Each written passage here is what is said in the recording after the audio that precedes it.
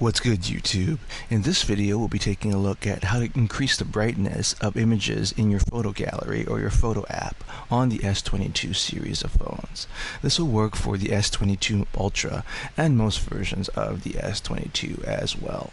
If you like this kind of content or find these kind of quick tips helpful, leave a message down below. Don't forget to subscribe and thanks for watching.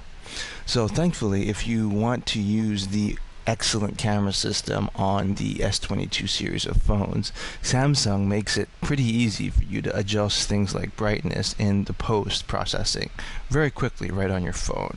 To do so, what you want to do is head into your camera gallery and you want to find the image that you want to increase the brightness on.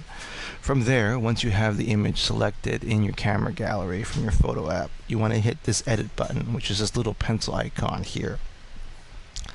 From there you have a few controls in the edit mode for photos on the S22 series of phones.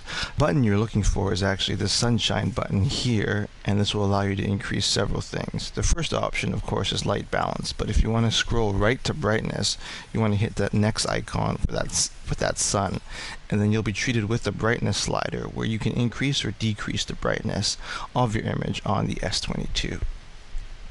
So there you have it everyone, just a quick tip on how to increase brightness on your photos in your photo gallery on the Samsung S22 series of phones.